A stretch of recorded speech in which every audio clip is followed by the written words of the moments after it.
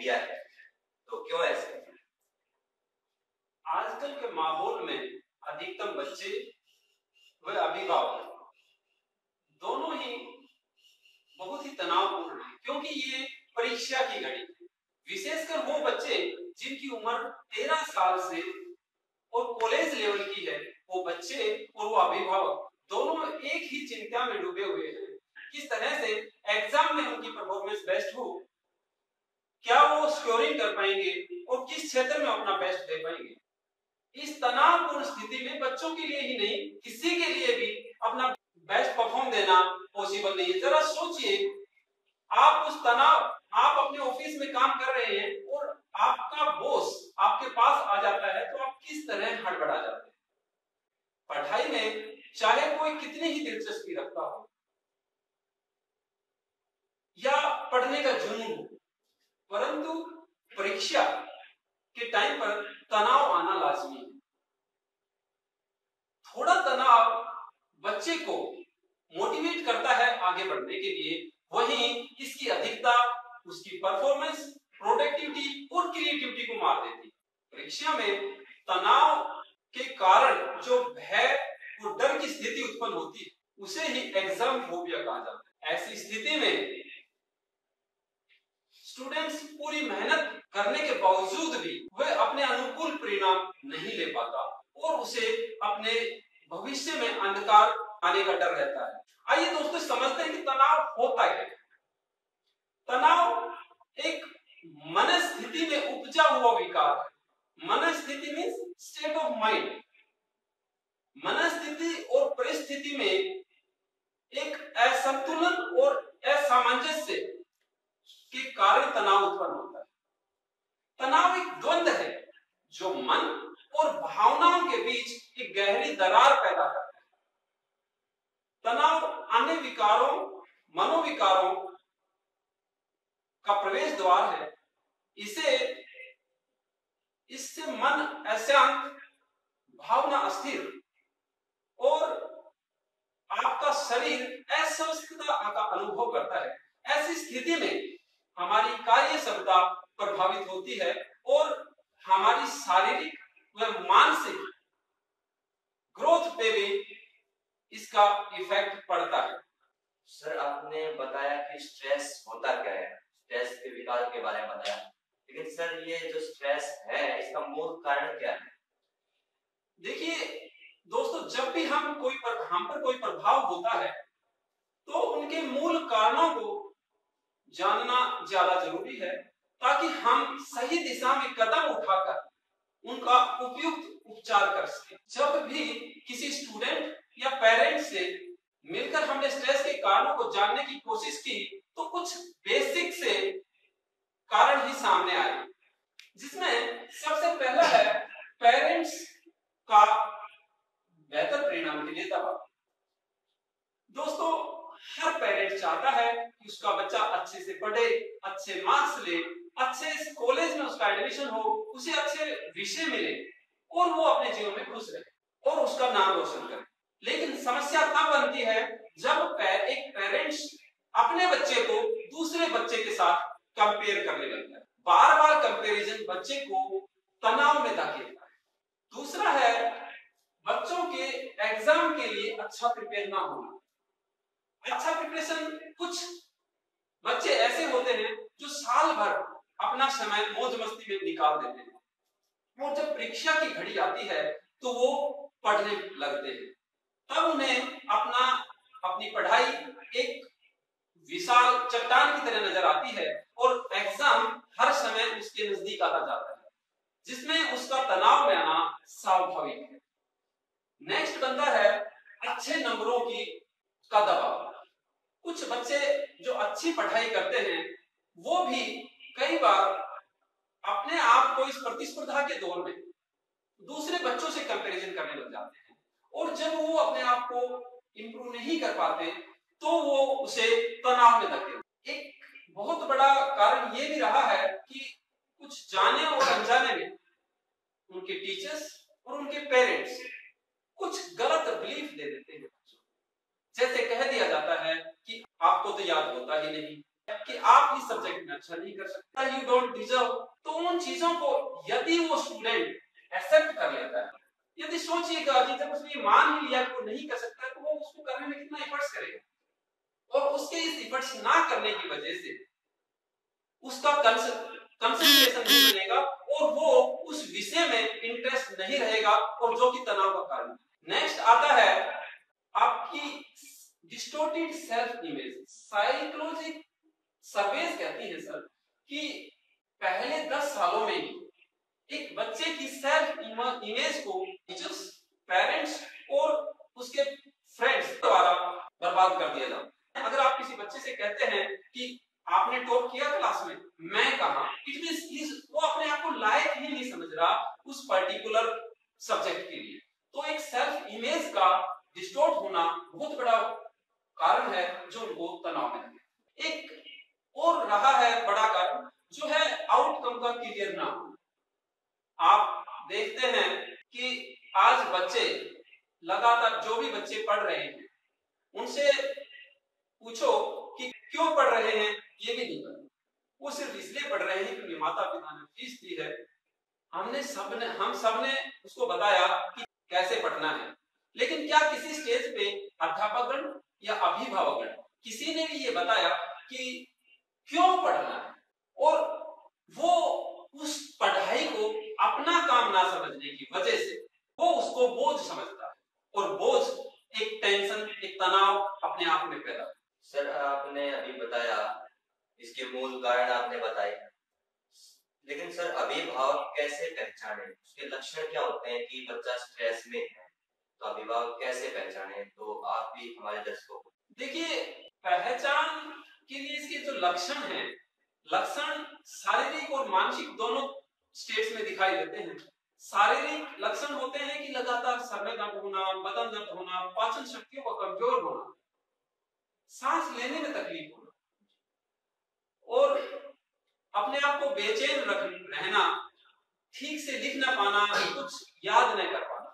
जैसे शारीरिक लक्षण है, मानसिक लक्षण में आते हैं कि वो पढ़ाई में मन न लगना, टीवी व फ़ोन पर ज़्यादा बिज़ी रहना, और जिद्दी या चिड़चिड़ा स्वभाव हो जाना, हताश होना और आक्रोश से भरे रहना। और खाने व सोने की आदतों में भी बदलाव देखा जाता है।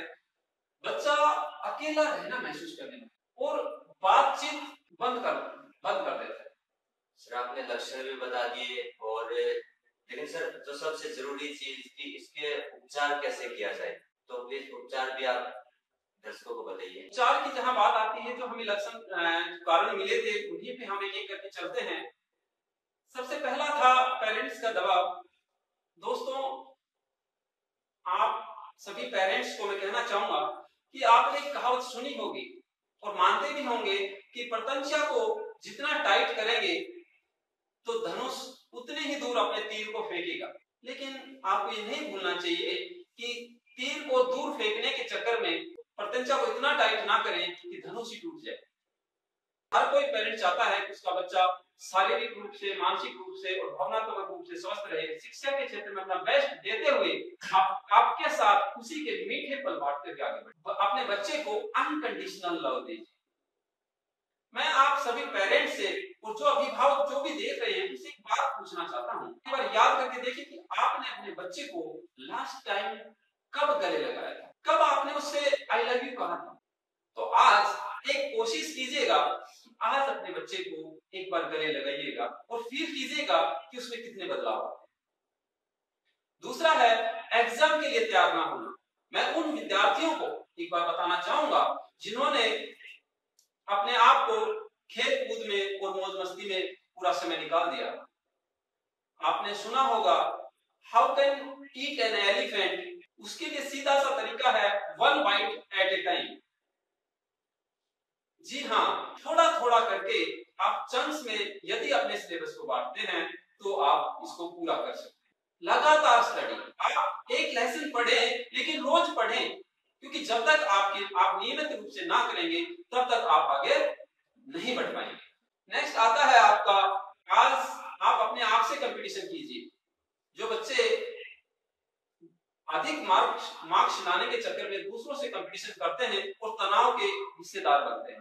मैं आपको बताना चाहूँ कि आप अपने दोस्त या आप किसी भी हीरो को रोल मॉडल मानते हैं। तो अपनी माँ से पूछिए कि क्या वो हीरो आपके पास आपकी माँ के पास आए तो आपकी जगह ले सकता है? आप ही अपनी माँ के लिए डायमंड हो और आप अपने लिए यूनिक हो। इस यूनिवर्स में आप जैसा दूसरा कोई नहीं है।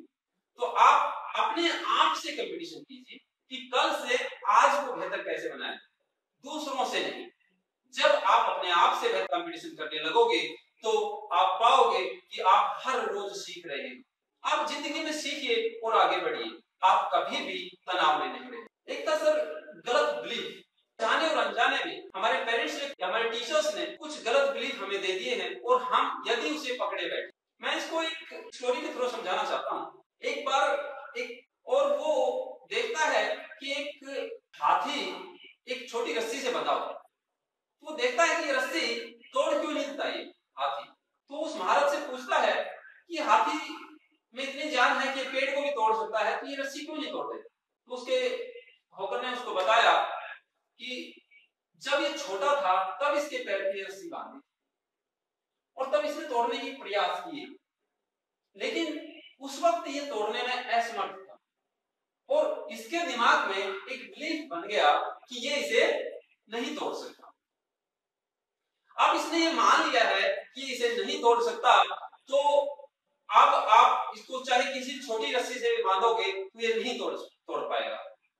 दोस्तों, उसी हाथी की तरह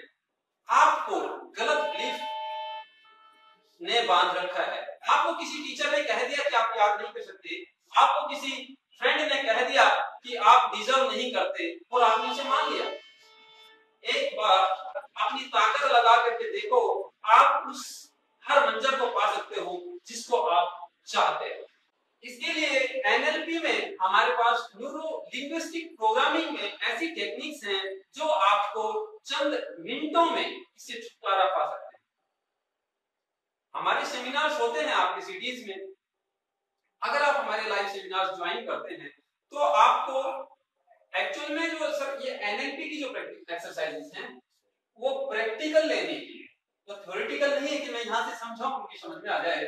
वो उनको प्रैक्टिकल एक्सपीरियंस करनी पड़ेगी और मात्र पाँच मिनट में वो अपने बड़े से बड़े बिलीफ को तोड़ सकते हैं। इस तरह आज अगर आप अपनी रस्सी को नहीं तोड़ेंगे तो आप हमेशा उस हाथी की तरह बंधे रह जाएँगे।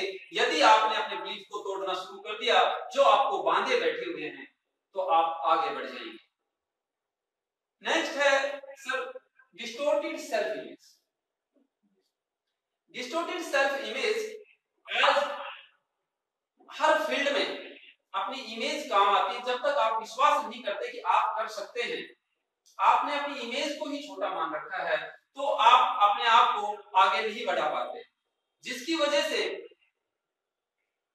आपकी काम करने में, किसी भी काम करने में आपका दिल नहीं लगता। आप पढ़ने लगते हैं और खुद को उस लायक ही नहीं समझते हैं तो आप पढ़ेंगे कैसे?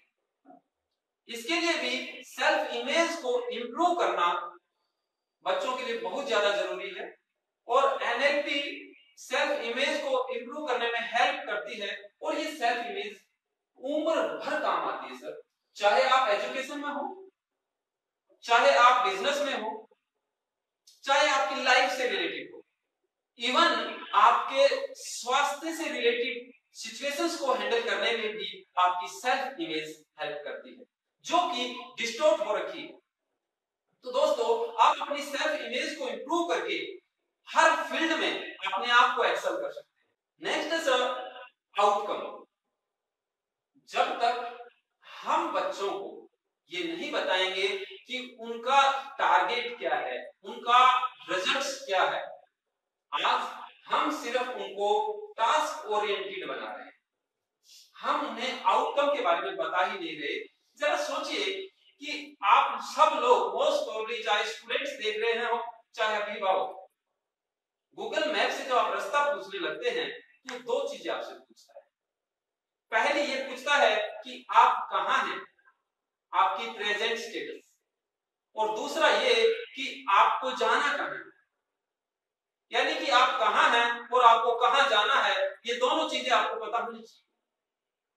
जब तक आपको ये नहीं पता कि आपको कहाँ जाना है, आप कहीं जा ही नहीं सकते। आज ज़्यादातर स्टूडेंट्स का यही स्टेटस है they don't have their outcomes उनको ये पता ही नहीं कि जाना कहाँ है। उनका वही हाल हो रहा है कि आज वो यहाँ से रेलवे स्टेशन पहुँचते हैं और वहाँ से ट्रेन आप दिखाई देती है सजी दजी उस ट्रेन में बैठ लेते हैं। कुछ दूर चलने के बाद में दूसरी ट्रेन मिलती है, उसमें बैठ लेते हैं। फिर तीसरी ट्रेन में बैठ लेते हैं। तब तक पता चलता है कि वो चेन्नई पहुँच गए। वहाँ जाकर के उनको पता चलता है कि उनको जाना कहाँ था? उनको जाना दिल्ली था। तो फिर वो चेन्नई से दिल्ली वापस आते हैं।